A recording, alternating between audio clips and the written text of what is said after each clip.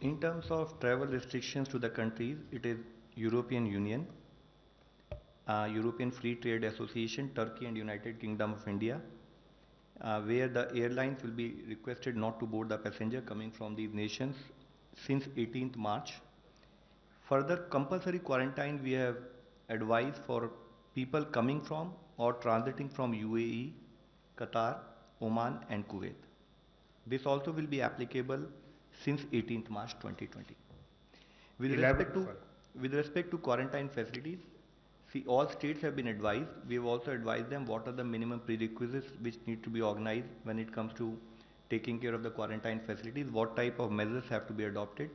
So we are constantly in touch with state and following it with them.